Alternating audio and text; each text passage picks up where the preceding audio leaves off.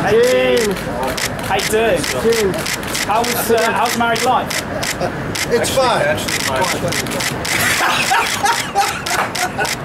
Compared to what? actually, my wife is inside.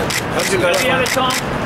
Sorry. Don't chat. Well, I would stick my tongue out, but the floor is dirty, as you can tell. Are you, are you enjoying uh, your new status? You know, actually, I don't know what I was afraid of. Yeah. You know, men are stubborn, and I'm certainly no exception. Don't chat. And uh, what about the, what about the honeymoon? How was that? Want to let us into any We went on the Kiss cruise, actually. Oh yeah. Good time. We had a great, yes, a great. Thank you for asking.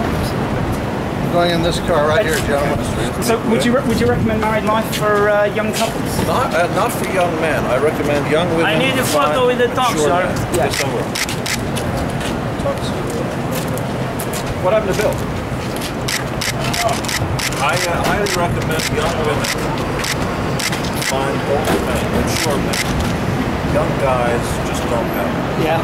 We're not mature enough. We don't grow. Isn't that true? Come in here and tell, tell them about it. You know, isn't it true young men are just not mature enough to get married? She's my foot. I've got to go. Thank you. Where's your wife? Inside.